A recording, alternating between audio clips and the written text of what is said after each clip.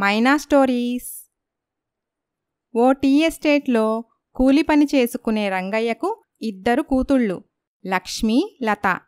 లక్ష్మికి ఏడాది వయసున్నప్పుడే తల్లిపోయింది రంగయ్య రుద్రమ్మ అనే ఆవిడను రెండో పెళ్ళి చేసుకున్నాడు. లత రుద్రమ్మ కూతురు.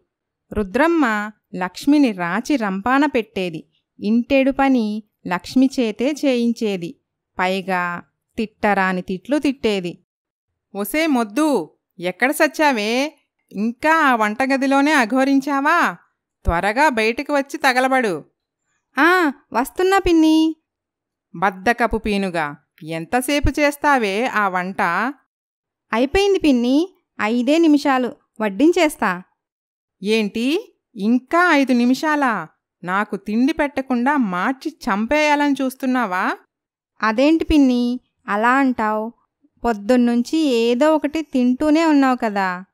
నోరు ముయ్యవే దరిద్రపుగొట్టుదానా నీ పాపిష్టి కళ్ళు నా తిండి మీద పడ్డాయా? అందుకే అనుకుంటా పొద్దుట్నుండి ఒకటే కడుపు నొప్పి.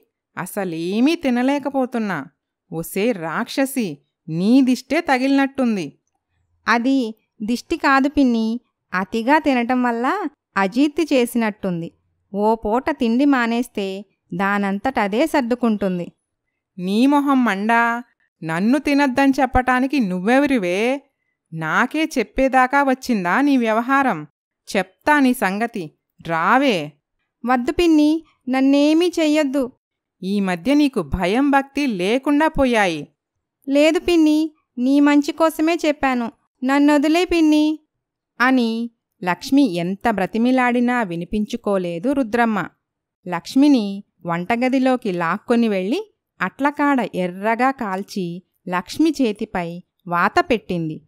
పాపం లక్ష్మి బాధతో గిలగిలా కొట్టుకుంది. నోరు ముయ్యవే దరిద్రపు పీనుగా. ఎందుకే అలా అరుస్తున్నావు? ముచ్చుమొహమా గమ్మునుండు లేదంటే ఈ రుద్రమ్మ అంటే ఏంటో మళ్ళీ చూపిస్తా. అని అక్కడి నుండి వెళ్ళిపోయింది. లక్ష్మి సవతి తల్లి పెట్టే బాధలు తిట్లు భరించలేకపోయేది. రోజూ అమ్మోరు గుడికి వెళ్ళి ఆమె తన బాధలు ఆ దేవతకి చెప్పుకునేది. తనకి త్వరగా పెళ్ళి అయ్యేలా చేసి సవితి తల్లి బారి నుండి తనని కాపాడమని ఆ దేవతను ప్రార్థించేది. ఇలా ఉండగా ఓ రోజు రాత్రి లక్ష్మికి నిద్రపట్టలేదు సవతి తల్లి తిట్టిన తిట్లే చెవిలో మారుమ్రోగుతూ ఉన్నాయి. ఆరుబయట అలా చల్లగాలిలో అటూ ఇటూ తిరుగుతూ ఉంది. అప్పుడు లక్ష్మికి తన తండ్రి పిన్నిల మాటలు వినిపించాయి. రుద్ర చూస్తుండగానే పిల్లలు పెళ్ళిడికి వచ్చారు. ఈ సంవత్సరం తల తాకట్టు పెట్టైనా సరే లక్ష్మికి మంచి సంబంధం చూసి పెళ్ళి చేయాలి. ఏంటి? ఆ జిడ్డు మొహానికి పెళ్ళా?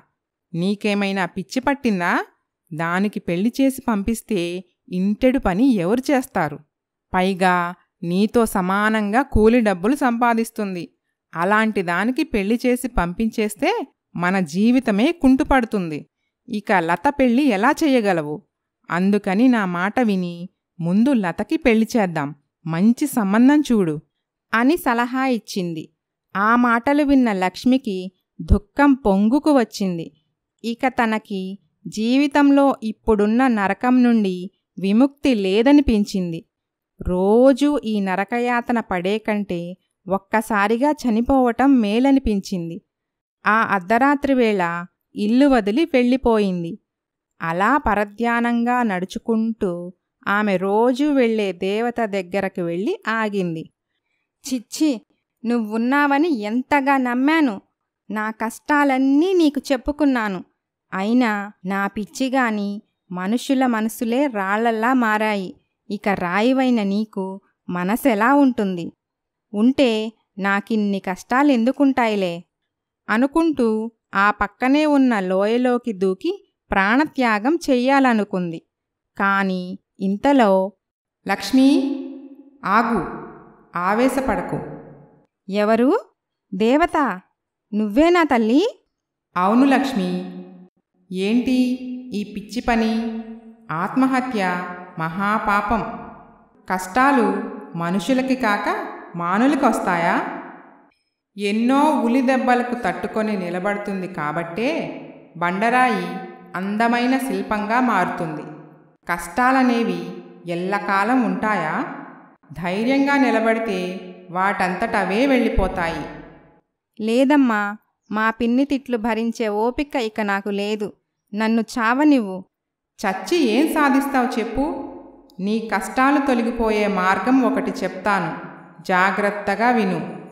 ఏంటి తల్లి అది? రేపు సూర్యోదయం నుండి సూర్యాస్తమయం వరకు మీ పిన్ని నిన్ను తిట్టినప్పుడల్లా నీ కొంగులో ఓ బంగారు నాణెం పడుతుంది. వాటితో నీ కష్టాలన్నీ తీరిపోయి నీ పెళ్ళి ఘనంగా జరిగిపోతుంది. అని చెప్పింది దేవత. లక్ష్మి ఆ దేవతకి కృతజ్ఞతలు తెలుపుకొని ఇంటికి తిరిగి వెళ్ళి ప్రశాంతంగా నిద్రపోయింది. మరునాడు ఉదయాన్నే ఒసే ముచ్చుమొహందానా బారెడు పొద్దెక్కింది. కుంభకర్ణుల్లా ఇంకా ఆ మొద్దు నిద్రేంటే? లేలే ఎక్కడి పనులు అక్కడే ఉన్నాయి. త్వరగా లేచి తగలబడు అనుకుంటూ తిట్ల దండకం మొదలుపెట్టింది రుద్రమ్మ. ఉలిక్కిపడి నిద్రలేచి కూర్చుంది లక్ష్మి. రాత్రి జరిగిందంతా గుర్తుకు వచ్చింది. అదంతా కలో నిజమో అర్థం కాలేదు. తన నడుముకు చుట్టుకొని ఉన్న పవిట కొంగును తెరచి చూసింది. అందులో నాలుగు బంగారు నాణేలు కనిపించాయి. లక్ష్మికి ఆశ్చర్యంతో పాటుగా చాలా ఆనందం కలిగింది. తిరిగి తన పవిట కొంగుని నడుముకు చుట్టుకొని ఇంటి పని చేయటం మొదలుపెట్టింది. రుద్రమ్మ ఏదో వంకతో లక్ష్మిని తిడుతూనే ఉంది. తిట్టు తిట్టుకి లక్ష్మి చాలా సంతోషిస్తూ ఉంది. రెట్టింపు ఉత్సాహంతో పనులు చేసుకుంటూ ఉంది. సాయంత్రం కావస్తుంది.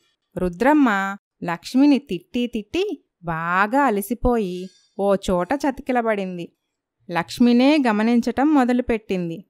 ఎన్ని తిట్లు తిట్టినా దీని మొహంలో ఆవగింజంతైనా బాధే లేదే. ఎప్పుడూ ఏడుస్తూ ఉండే దీని మొహం ఈరోజు ఇంత సంతోషంగా వెలిగిపోతుందేంటి? కారణం ఏమై ఉంటుందబ్బా? ఒసే మొద్దు ఇలా రావే. ఏంటి పిన్ని? నీ పవిట కొంగులో ఏం దాచావే? అనుకుంటూ లక్ష్మి కొంగు లాగింది. బోలెడు బంగారు నాణాలు రాశిలా పోగుపడ్డాయి. రుద్రమ్మ ఆశ్చర్యపోయింది. కుటుంబ సభ్యులంతా నిర్ఘాంతపోయారు. అమ్మో అమ్మో ఎంత బంగారం? అసలిదంతా బంగారమేనా? ఓసే మూగమొద్దు. ఏంటే అలా గుడ్లప్పగించి చూస్తున్నావు? నోరు తెరిచి మాట్లాడు. అది పిన్ని. మీరేంటండి అలా చూస్తూ నిలబడ్డారు? దాన్ని గట్టిగా నిలదీయండి.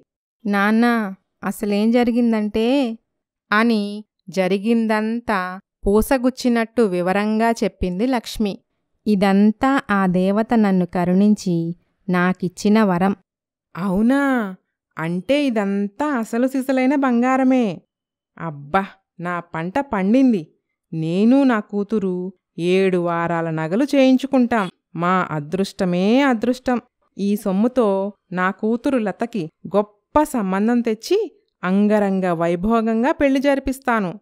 ఏమండి? లతకి వెంటనే గొప్ప సంబంధం చూడమని పేరయ్యతో చెప్పండి. అదేంటి రుద్రమ్మ? ఇది చాలా అన్యాయం. పాపం లక్ష్మి. పాపం లేదు పుణ్యం లేదు. ఇవన్నీ నేను తిడితే రాలిన బంగారు నాణాలు.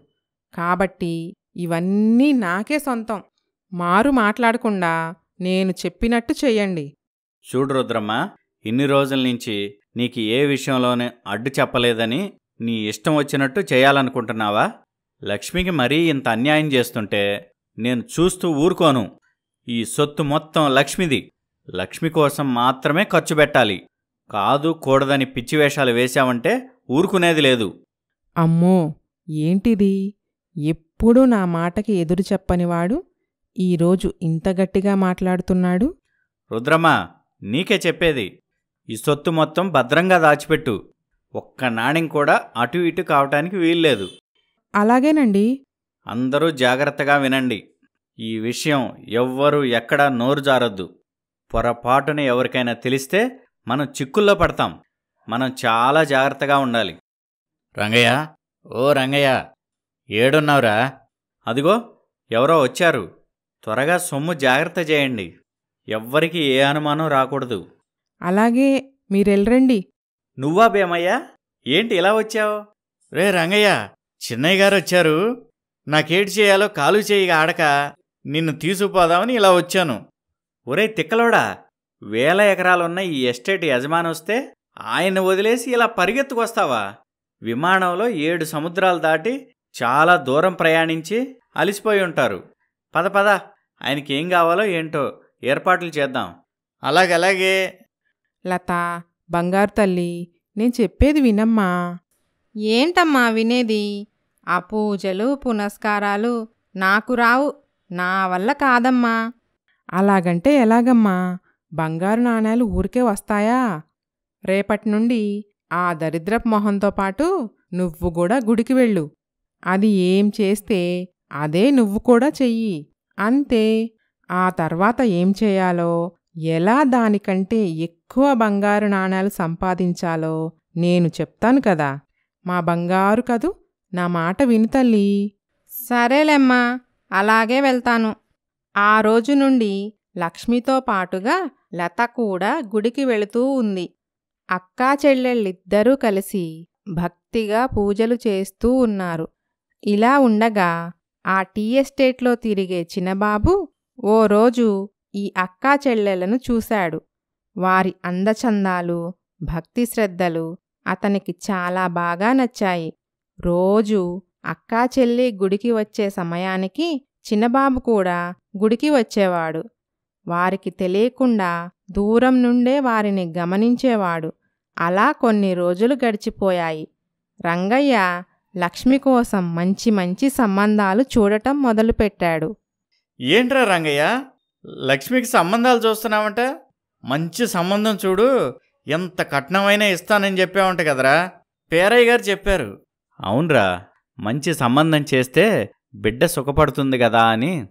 గొప్ప సంబంధం అంటే బోలెడు కట్నం ఇచ్చుకోవాలి. అంత సొమ్ము నువ్వు ఎక్కడి నుంచి తెస్తావురా? ఒకవేళ అప్పో సొప్పో తెచ్చినా ఆ తర్వాత చిన్నదాని పెళ్ళి ఎలా చేస్తావు? పిల్లలు సుఖంగా ఉండాలని అందరూ అనుకుంటారు. కానీ అందుకోసం తలకు మించిన భారం నెత్తి మీద పెట్టుకోబాకు. నా మాట విని మనకు తగ్గ సంబంధం చూడు. అదంతా నేను చూసుకుంటాలేరా. మరి మన చిన్నబాబు గారు ఏం చేస్తున్నారేంటి? ఈసారి చాలా రోజులున్నారే. ఎప్పుడు ఇన్ని రోజులు ఉండరు కదా? ఏంటి విషయం? అది చాలా రహస్యంరా ఎవరికి చెప్పబాకు? ఇంతకీ ఏంట్రా ఆ రహస్యం? అది పెదబాబు గారు చిన్నబాబు గారిని పెళ్ళి చేసుకోమని చాలా ఒత్తిడి తెచ్చారంట. అప్పుడే పెళ్ళి చేసుకోవడం ఇష్టం లేని చిన్నబాబు గారు అలిగి అంత దూరం నుంచి ఇక్కడికి వచ్చేశారట. రేపు మాపో పెదబాబు గారు కూడా వస్తున్నారంట. అవునా? ఎంత మంచి వార్త చెప్పావురా? ఆయన ఇక్కడికి వచ్చి ఎన్ని రోజులవుతుందో మనం ఆయనకి ఇష్టమైనవన్నీ సిద్ధం చేయాలి. అలాగే చేద్దాంరా. మనం మూడు పూట్ల తిండి తింటున్నామంటే ఆయనదయ్యే మరి. ఆ మాత్రం చేయకపోతే ఎలా? అవునరా. ఆయన ఉండే నాలుగు రోజులు బ్రహ్మాండంగా చూసుకోవాలి.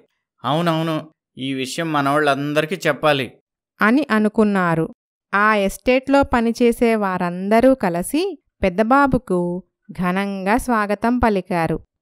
లత ఇలారా ఏంటమ్మా? నేను చెప్పేది జాగ్రత్తగా విను. పోయిన నెల సరిగ్గా ఇదే రోజు ఆ లక్ష్మిని దేవత కరుణించింది. అందువల్ల ఈరోజు అర్ధరాత్రి నేను చెప్పినట్టు చేశావనుకో ఆ దేవత నిన్ను కూడా కరుణిస్తుంది. అని లతకు ఏం చెయ్యాలో ఎలా చెయ్యాలో అంతా వివరంగా చెప్పి అర్ధరాత్రి గుడి దగ్గరకు పంపింది. దేవత లతకి కూడా ఓ వరమిచ్చింది రేపు సూర్యోదయం నుండి సూర్యాస్తమయం వరకు నీ తల్లి తిట్టే ప్రతి తిట్టు ఓ బంగారు నాణెంలా మారుతుంది. లత సంతోషంగా ఇంటికి వెళ్ళి తల్లికి విషయం చెప్పింది. తల్లి కూతుళ్ళకు ఆ రాత్రంతా నిద్రపట్టలేదు సూర్యోదయం ఎప్పుడవుతుందా అని వెయ్యి కళ్ళతో ఎదురుచూస్తూ ఉన్నారు. ఒక్క నిమిషం కూడా వృధా చేయకుండా బోలుడు బంగారు నాణేలు దక్కించుకోవాలన్నది వారి ఆలోచన. మరోవైపు ఆ టీ ఎస్టేట్ యజమాని పెద్దబాబు అతని భార్యతో కలిసి కొడుకు చిన్నబాబును వెతుక్కుంటూ విదేశాల నుండి వచ్చారు. ఏంట్రా ఇది? పెళ్ళి చేసుకోమంటే అలిగి ఇంత దూరం వచ్చేస్తావా? నీకోసం మీ నానమ్మ దిగులు పెట్టుకొని అనారోగ్యం పాలైంది. అయ్యో నానమ్మకి ఏమైందమ్మా రాత్రింబవళ్ళు నీ గురించే ఆలోచిస్తూ తిండి నిద్ర లేక నీరసించిపోయింది. నువ్వు పెళ్ళి చేసుకుంటే కాని ఆమె ఆరోగ్యం కుదుటపడదు అదేం లాజిక్ అమ్మా నా పెళ్ళికి నానమ్మ ఆరోగ్యానికి ముడిపెడతావేంటి ఈ మాట నేను చెప్పట్లేదురా. డాక్టర్స్ చెప్తున్నారు. అయినా ఇలా పెళ్ళి చేసుకోకుండా ఎన్ని రోజులని ఉంటావు? మనకి వేల కోట్ల ఆస్తులున్నాయి. అవి అనుభవించటానికి వారసులు లేకపోతే ఎలా? హాయిగా మనవళ్ళు మనవరాళ్ళతో కాలక్షేపం చెయ్యాలని మా ఆశ. నీకు త్వరగా పెళ్ళి చేసి మన వ్యాపార బాధ్యతలు నీకప్పగించాలన్నది మీ నాన్నగారి ఆలోచన. అవునా? బరువు బాధ్యతలన్నీ నా పైన వేస్తే ఎలా నాన్న? నేను మొయ్యగలనో లేదో? అదేం లేదులే బాబు. నీకన్నీ అలవాటయ్యే వరకు నీ పక్కనే ఉంటా కదా సందేహపడకు. అన్నీ నేను చూసుకుంటా. సరే నాన్న మీ ఇష్టం. ఈ మాట చాలు బాబూ చాలా సంతోషం. నీకోసం చాలా గొప్ప గొప్ప సంబంధాలొస్తున్నాయిరా. ఇవిగో ఈ ఫోటోలు చూడు. మీ నాన్నగారు నేను కలిసి వీళ్ళని సెలెక్ట్ చేశాం. ఒకరిని మించిన అందం ఇంకొకరిది. చూడు చూడు ఎంత అందంగా ఉన్నారో. వీరిలో నీకెవరు నచ్చారు? అమ్మా వీళ్ళెవ్వరూ నాకు నచ్చలేదు. అదేంట్రా? వీళ్ళల్లో మిస్ ఇండియా మిస్ యూనివర్సులు కూడా ఉన్నారు. అసలు నీకు పెళ్ళి చేసుకునే ఉద్దేశం ఉందా లేదా? ప్రపంచంలోనే ఉన్న అందగత్తెల ఫోటోలు నీ చేతిలో ఉన్నాయి. వీళ్ళది ఒక అందమేనా? మన దగ్గర పనిచేసే రంగయ్య కూతుళ్ళు వీళ్ళకంటే వెయ్యి రెట్లు అందంగా ఉంటారు. అలా ఎలా ఉంటారా సుకుమారంగా పెరిగిన వీళ్ళెక్కడా? ఎర్రటి ఎండలో కాయకష్టం చేసుకునే వాళ్ళెక్కడా? నిజమమ్మా నేను రోజూ చూస్తున్నా కదా ఆ అక్క చెల్లెళ్ళు ఒకరిని మించి ఇంకొకరు చాలా అందంగా ఉంటారు. చిచ్చి పనివాడి కూతుళ్ళు నీకెలా నచ్చారా అయినా మన స్థాయేంటి వాళ్ళ స్థాయేంటి? మన కాలి గోటికి కూడా సరితూగరు. అవును బాబు వియ్యానికైనా కయ్యానికైనా సమవుజ్జి ఉండాలంటారు. అందుకని మా మాట విని మన స్థాయికి సరిపడే అమ్మాయిని సెలెక్ట్ చేసుకో. లేదు నాన్న అలా అయితే నాకు అసలు పెళ్ళే వద్దు. ఇదెక్కడి గోలరా? ఓ అనామకురాల్ని కోడల్ని ఎలా చేసుకోమంటావు?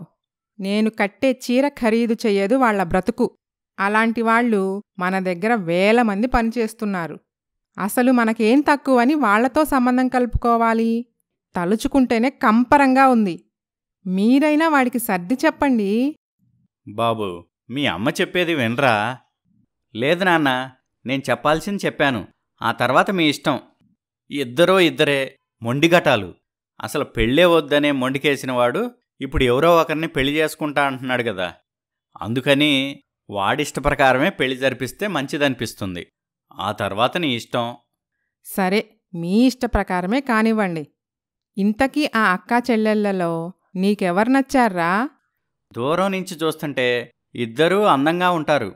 ఓసారి దగ్గరగా చూసి మాట్లాడి ఆ తర్వాత ఒక నిర్ణయానికి వద్దాం అనుకుంటున్నాను.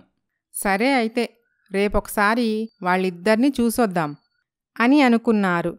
మరుసటి రోజు ఉదయాన్నే తల్లి కొడుకులు రంగయ్య ఇంటికి బయలుదేరాడు. అక్కడ రంగయ్య ఇంట్లో రుద్రమ్మ తన కూతురుపై తిట్ల వాన కురిపిస్తూ ఉంది. తిట్టుకో బంగారు నాణం చప్పున పోగుబడుతున్నాయి రుద్రమ్మ రెట్టింపు ఉత్సాహంతో చాలా వేగంగా కూతుర్ని తిట్టిపోస్తూ ఉంది. తల్లి కొడుకులు రంగయ్య ఇంటికి వచ్చారు. లక్ష్మికి వాళ్ళెవ్వరన్నది తెలియదు. ఆమె వాకిట్లో ముగ్గు వేసుకుంటూ ఉంది. అమ్మాయి రంగయ్య ఇంట్లో లేడా? నాన్న కోసం వచ్చారా? రండి కూర్చోండి. నాన్న పని మీద బయటికి వెళ్ళారు. ఒక్క నిమిషం మా పిన్నిని పిలుస్తాను అని లోపలికి వెళ్ళింది లక్ష్మి. రుద్రమ్మ లక్ష్మి చెంప చెళ్ళు మనిపించి బయటకు వెళ్ళమని సైగ చేసింది. ఆ దేవుడే వచ్చినా నాకు పలకరించే తీరిక లేదు. పొమ్మను పొమ్మను. లక్ష్మి లోపలి నుండి మంచినీళ్ళు తెచ్చి ఇచ్చింది. ఏమీ అనుకోకండి. మా పిన్ని చాలా అవసరమైన పనిలో ఉంది. ఇప్పుడు మాట్లాడటం కుదరదని చెప్పింది. పర్వాలేదులేమ్మా మేము రేపొస్తాము అని అక్కడి నుండి వచ్చేశారు.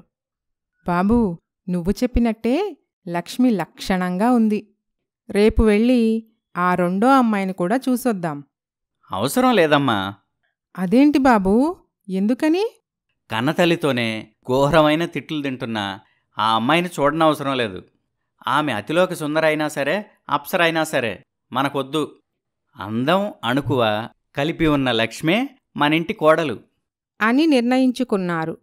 ఆ మరుసటి రోజు రంగయ్యను పిలిచి విషయం చెప్పారు. రంగయ్య ఆశ్చర్యపోయాడు. అది కలో నిజమో తెలియక గిల్లుకొని చూశాడు. నిజమేనని నిర్ధారించుకొని పరుగు పరుగున ఇంటికి వెళ్ళి విషయం చెప్పాడు. నా బంగారు తల్లి లక్ష్మి ఎంత అదృష్టవంతురాలు? ఈ ఎస్టేట్కే యజమానురాలు కాబోతుంది. ఇక నుంచి మనందరం లక్ష్మి కింద పనిచేయాల్సిందే. ఏంటి? ఈ రోజు వరకు నా కింద గొడ్డు చాకిరీ చేసిన ఈ లక్ష్మి? నాకే యజమానురాలవుతుందా? అయ్యో ఈ అదృష్టం నా కూతురికెందుకు దక్కలేదు? అని చాలా అసూయపడింది రుద్రమ్మ. చిన్నబాబుతో లక్ష్మి పెళ్ళి జరిగిపోయింది. లక్ష్మి నన్ను క్షమించమని అడిగే అర్హత కూడా నాకు లేదు. జాలి దయ లేకుండా కసాయిదానిలా నిన్ను వేపుకు తిన్నాను. నా అసూయకు స్వార్థబుద్ధికి తగిన శాస్తి జరిగింది. నీ మంచితనం ఓర్పు వల్ల నీకు మహారాణి యోగం పట్టింది. నా దగ్గర ఎన్ని బంగారు నాణ్యాలు ఉన్నా ప్రయోజనమేముంది? నీ చెల్లి లతను ఏ కూలివాడికో ఇచ్చి కట్టబెట్టే బదులు ఆ బంగారు నాణ్యాలు కట్నంగా ఇచ్చి ఏ వ్యవసాయం చేసుకునేవాడికో ఇవ్వక తప్పదు. అనుకుంటూ చాలా బాధపడింది రుద్రమ్మ. లక్ష్మి తన పిన్నిని ఓదార్చింది.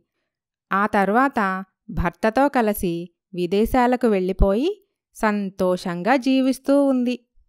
కథ సమాప్తం. ఈ కథ మీకు నచ్చితే లైక్ చేయండి షేర్ చేయండి. మరిన్ని మంచి కథల కోసం మైనా స్టోరీస్ను సబ్స్క్రైబ్ చేయండి.